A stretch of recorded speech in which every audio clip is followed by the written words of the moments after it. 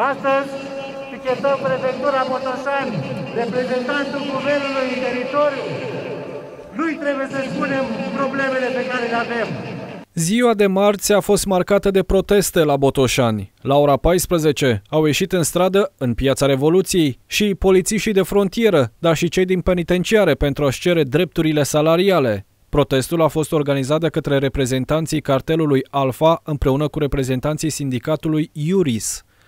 Acestora li s-au alăturat lucrători din cadrul sistemului de asistență socială. Sunt astăzi împreună cu colegii mei în fața prefecturii Botoșani pentru a cere Guvernului României, premierului Câțu să respecte legile, așa cum tot, noi toți cei din Sistemul Național de Apărare și Ordine Publică respectăm legile, le cerem și partidului, partidelor de la guvernare acestei coaliții, guvernului condus de domnul Câțu să respecte legile. Cere respectarea legii salarizării, așa cum a fost votată în Parlamentul României în anul 2017.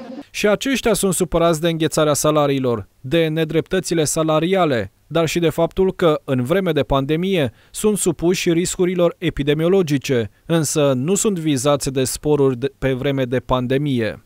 Înghețarea salariilor, asta unul din motiv, plus drepturile care ne-au fost luate. Când s-a dat la sănătate, nu ni s-a dat. Ne-a promis că până în 2022 o să ne se mărească. Că ne-au luat acum totul. Când noi intrat la guvernare, n-au știut. Sunt pensionar, am lucrat la penitenciarul Botoșani și uh, cred că mi s-a încălcat toate drepturile salariale și uh, chiar uh, pensia, pentru că cum statul când ai o problemă te obligă să-ți plătești dările. Dar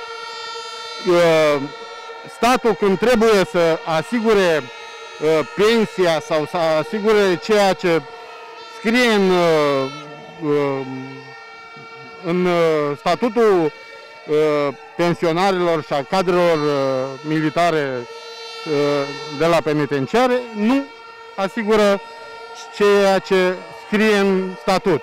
Ați văzut că prețurile au crescut, dar salariile și pensiile au rămas din 2009 nemărite, neactualizate.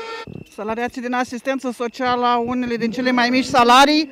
Au fost cei mai sacrificați pe perioada pandemiei, lucrează în prima linie, au fost mințiți, au fost umiliți, au fost izolați la locul de muncă câte două săptămâni, fără să li se plătească ore suplimentare și fără să li se dea drepturile.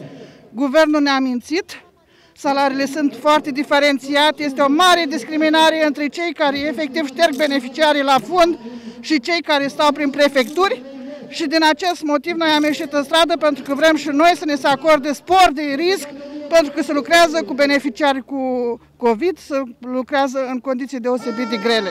Și aceștia au amenințat că vor continua protestele stradale până când doleanțele le vor fi ascultate. De asemenea, cei din sistemul de asistență socială vor trimite delegații din Botoșani către capitala țării.